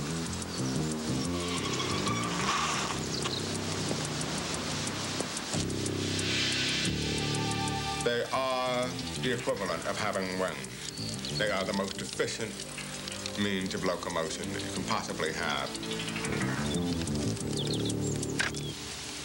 When I get a dream, it's kind of like the cars have evaporated, uh, freight is moved by rail and underground and things of this sort, and people have their own personal vehicles, and they're tailored to what they want to do. Problem with something like a car is that you spend four hours a day either using it or earning the money to look after it, and it owns you. You're kind of enslaved by the thing. Uh, it's too much technology. A bicycle, the only time you ever have to really worry about it is when you want to use it. And you have to give it some maintenance and care and attention and so forth. But um, you own it. It serves you. Uh, and that's a, a critical difference. Have you ever gone down on it? Yes, once. It was very sore. As with bicycles, so Ballantyne collects people. Here, the designers and rider of potentially the fastest human-powered vehicle on Earth, the Bean. That's right, yeah. We're a bit short on the heel space, but uh, we're limited by the, the moulding. Certainly when I was trying the sprint attempt in Leicestershire in December, I was just using the, the... In one hour, from a standing start, the Bean has clocked up nearly 47 miles, a world record. The lack of vehicle movement was quite remarkable. It was just, you know, on the line, smooth, steady. Yeah. Next, an attempt on the 200-meter sprint. The Bean itself is arguably the fastest HPV in the world today. It hasn't had a chance to prove it at high altitude. But it does seem to me now that we've had a totally substantial change of new materials and new capabilities. Uh, and that has really opened some doors.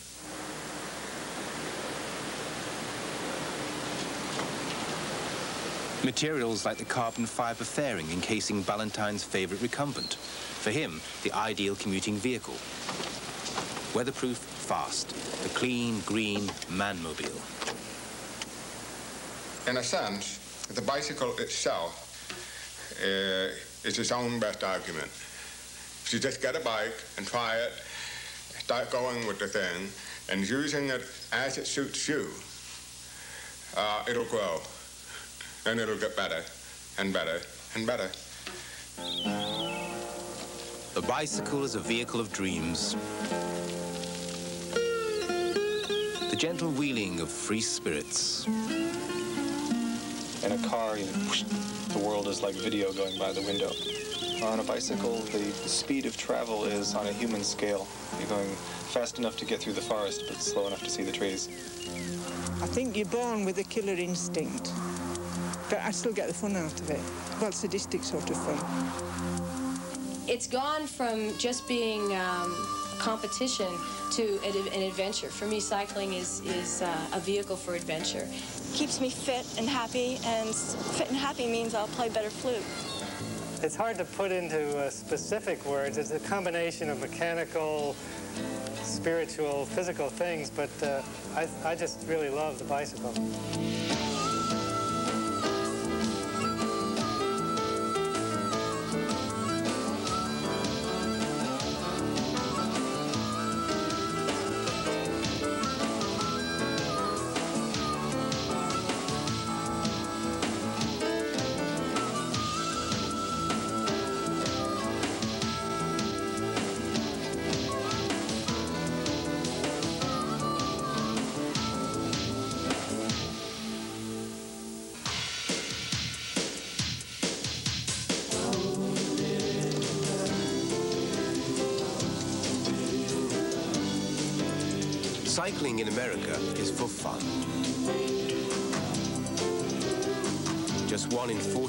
Used for commuting. The rest, if they're ridden at all, are for fitness, sport and play.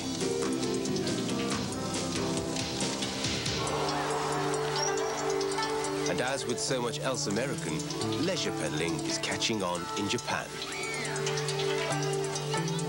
This hugely popular center near Tokyo celebrates every conceivable form of bicycling.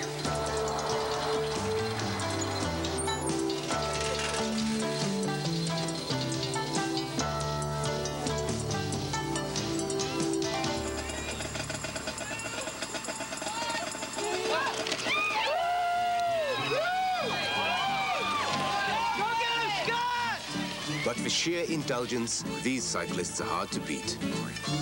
Alaska's Iditabike race. 200-mile trail. Most of it on foot.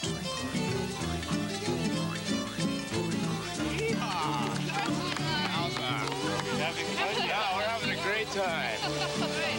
60 competitors from as far away as Puerto Rico and Germany. An outlay with airfares and double-tired mountain bikes astronomic compared with the cycling needs of a Chinese peasant. And to have the race snowed off after just 50 miles? It's unanimous opinion of everybody, everybody here that uh, we're done right now. I rode two miles total out of the whole 50 if you exclude the roads off Big Lake. For most of the world, this is cycling. In Asia alone, bicycles transport more people and goods than do all the cars on Earth. In emerging economies like Taiwan, the bike is yielding to scooters and cars. Bicycles are regarded as the transport of the poor. Some third world governments have banned bikes from cities to make them look less backward. But in China, the authorities recognized decades ago that bikes were the cheapest mass transit. There's been sustained investment in bicycle routes and low-cost machines for all. There are some 300 million bikes in China. People are subsidized to ride to work. Even so, the World Bank, in a 400-page study, failed to mention the bicycle. Although the bicycle is the primary means for people to get around in Chinese cities and in the countryside, the word bicycle didn't occur in this report. It spoke only of buses and trains, trucks and cars.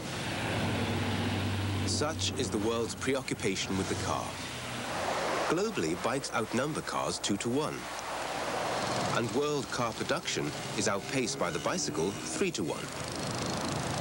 One of the greatest ironies in the 20th century has to be that societies have continued to pour such vast amounts of precious resources like land and clean air and petroleum into technology that most of the people in the world will never afford, which is the automobile.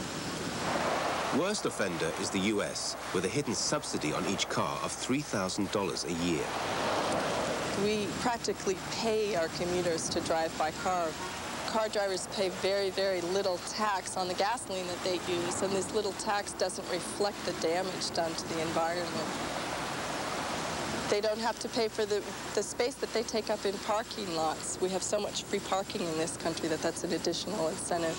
Another concept is to actually make drivers pay for the use of road space because drivers take such a disproportionate amount of space, particularly when they drive one person per vehicle.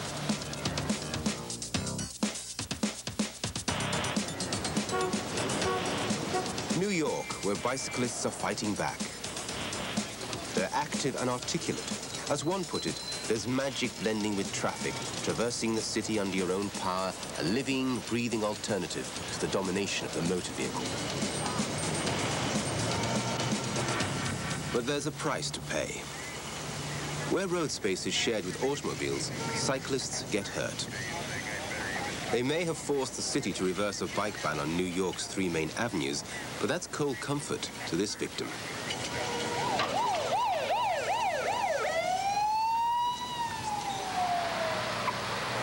The American urban cyclist, despised by motorists, ignored by the government. In Washington, there's just one person at the Department of Transportation with a brief for cycling. Unfortunately, we just didn't get funded by Congress. And it was not until just recently that we've gotten some funding to uh, go into our fiscal year 1991 budget to establish uh, a person to take care of the bicycle program. One official on a staff of 100,000. And the U.S. population at over 250 million. In America, we supposedly have 2.7 million people who use a bicycle as a, uh, as a regular form of transportation on a daily basis. I think that's pretty impressive. With less than half America's population, Japan had 7.2 million commuters bicycling daily in 1980. This metro interchange in suburban Washington typifies America's dilemma. Buses feed commuters to and from the station, slow and inflexible. It can be more convenient to drive to town. Cycle to the station and there are more problems. It's easier to park a car. As a result, the metro loses thousands of potential riders. We have a number of big parking garages that have been built near the station. We have this one here right at the station entrance. And yet the bicycle parking here at the station is quite deficient. And the access conditions for cyclists trying to, to bike to the station are very dangerous. Suburban Japan, says Michael Replogle, is the example America must follow. Since the 60s, when many people abandoned inefficient feeder buses, the Japanese have been cycling to the station in their millions. By the mid-70s, there was chaos. So many commuters were cluttering stations with their machines that the government had to legislate. Railways and private businesses were required to provide bicycle parks. Suburbanization in Japan hasn't meant building just park and ride lots and more highways everywhere. Instead, the Japanese have built giant guarded bicycle parking garages, some of which are computerized and very high tech, to store bicycles at the station. And this is a much more economical way to get people to public transport than by car or by feeder buses. Today, there are nearly 9,000 such parks, accommodating 2.5 million bikes. And if machines go unclaimed, they're shipped to the third world.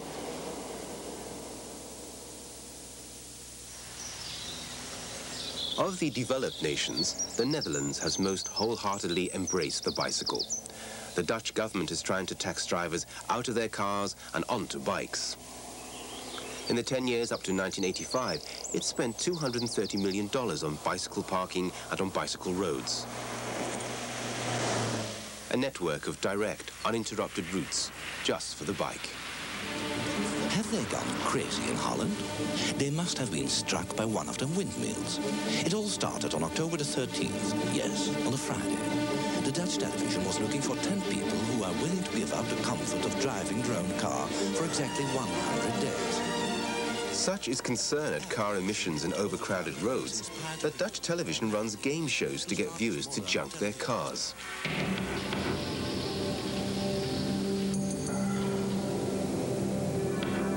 Unlucky participants watch stoically as their cars are dispatched. In compensation, they get a memento of the crushed vehicle and a mini bike to take home.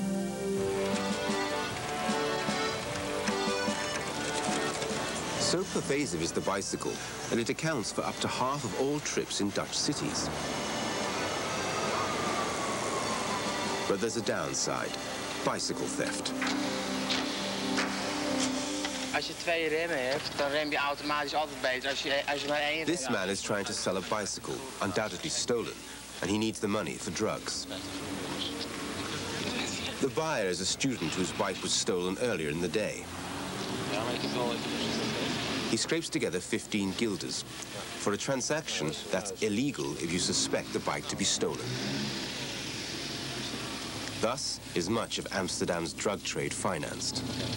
It's, it's like a circle. Uh, they, they, st they steal bikes, and then uh, you need a bike, but and you buy a bike from somebody else. So uh, there's a vicious cir circle. So it's uh, you could say it's a currency. Yes.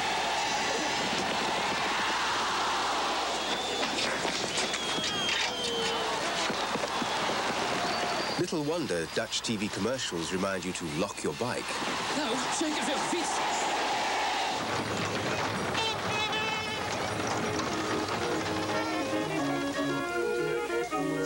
Odense, Denmark. famous for Hans Christian Andersen, and radical traffic engineering. A city restored to the people, where pedestrians and cyclists take precedence. Motor vehicles, if they're allowed at all, move with care and consideration. Odense has curbed the car and backed the bike. Cycle routes radiate to every suburb and beyond. We would be sitting right on the road here. We had uh, one-way traffic uh, around the whole town hall in two lanes and uh, there was a bus stop at this place and uh, it was a very very noisy place and uh, not a place for pedestrians and cyclists uh, 20 years ago. Odense is Denmark's biggest success. But throughout the country, traffic calming is the vogue. From Norway, the Danes have imported the Emil philosophy, the environmentally adapted through road. For a small town on a main route, an alternative to a costly bypass. But you might, too, the Norwegians said, build, reconstruct the road as it is through the town, but taking the the pedestrians' needs and the cyclists' needs and the local communities' needs as the primary factor. And that's the Emil philosophy. Pedestrians are moving much more freely, the cyclists are using the road in a quite new way, and the through traffic is just about the same as it has been all the time, only it's slower and takes more consideration towards the other road users. Motorist organizations have seen that membership will drop if they go too hard against uh, this uh, traffic calming. I think Scandinavia um, for their purposes should be commended for that. Our country is a little bit larger, it's a little bit more complex, if I may say so. So I think our, the bicycles will have to be accommodated uh, to our needs. America's needs continue to favor the car. Not just more highways, but new technology built into the car. There's something called a smart car, the Pathfinder, that will enable uh, each driver in a particular car that's equipped with a special sort of radar station that will uh, point out to the driver what are the free routes so that the driver has the opportunity to take a look at the map as he's driving on the freeways or the roadways, see which roads are congested, and make the choice himself as to where next to go to find a less uh, uh, congested route. Meanwhile, cities like Tokyo, London, and New York contend with pollution. Half the world's conurbations suffer harmful levels of carbon monoxide. A third have dangerous concentrations of lead. Exhaust emissions cause ill health, and they're blamed for global warming and reductions in crops like cotton and soybean. Frustration abounds as traffic grinds ever more slowly. In Seattle, on America's northwest seaboard, congestion is so bad that the police have come up with their own pragmatic solution, the bicycle.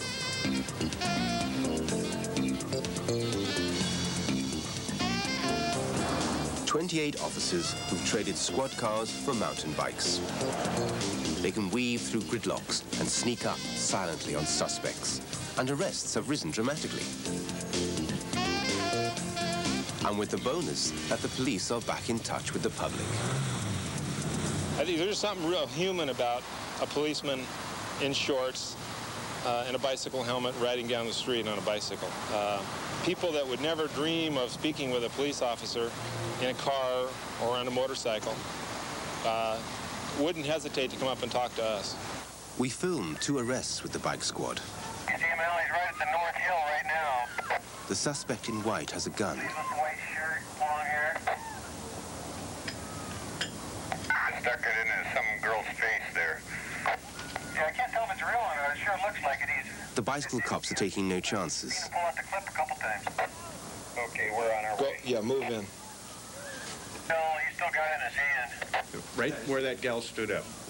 A tense moment. Okay, For if the suspect fails to raise his hands, the bike bobbies will shoot. I got it. They got him. The suspect complies. A dangerous shootout in a busy park in downtown Seattle has been averted. An arrest that probably wouldn't have happened had the police been using cars. Right underneath the tree now. Next, a drug If he bust. buys and doesn't put it in his mouth, we should probably take him first. This man is removing a sachet of drugs from his mouth. A a delivery. Again, all of it observed by the bicycle squad from a stakeout. Okay, we'll move in and uh, try to apprehend it.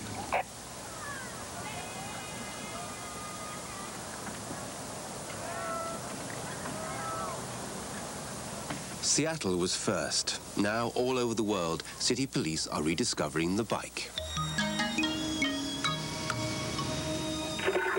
And from Tokyo and Hong Kong to New York and London, bicycle couriers are peddling for profit. On Your Bike is London's biggest courier, and it's booming because the bicycle is the fastest way to get parcels across town.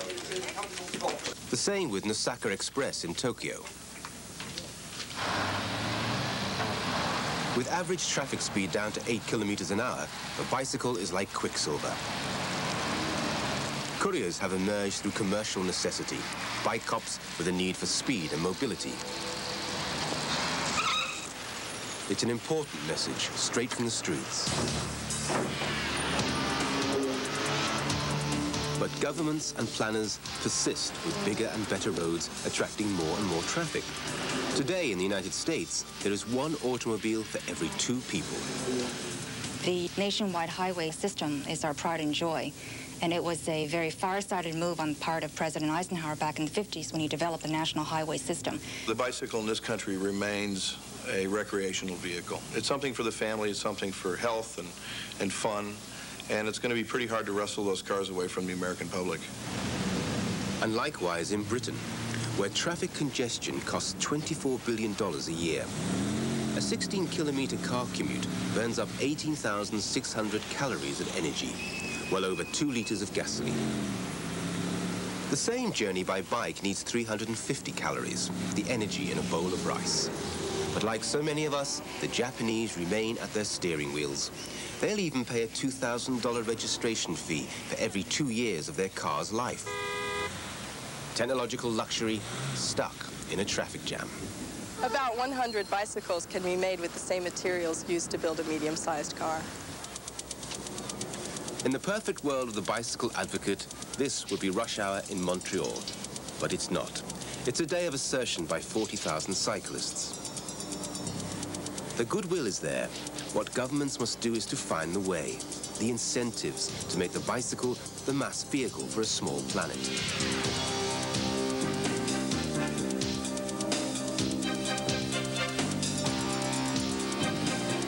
It's a hundred years since the golden age of the bicycle. Given the problems of today, there's every reason for the bike to enjoy another golden age.